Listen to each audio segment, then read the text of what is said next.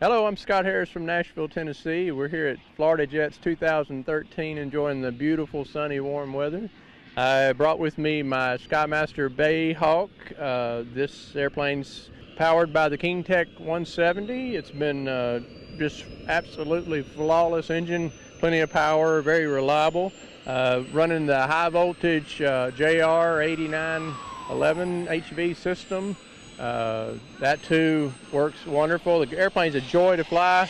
The uh, Fowler flaps are, are really cool uh, item on this.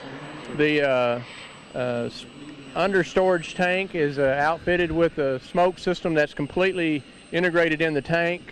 the the pump, batteries, and the tanks all are in there.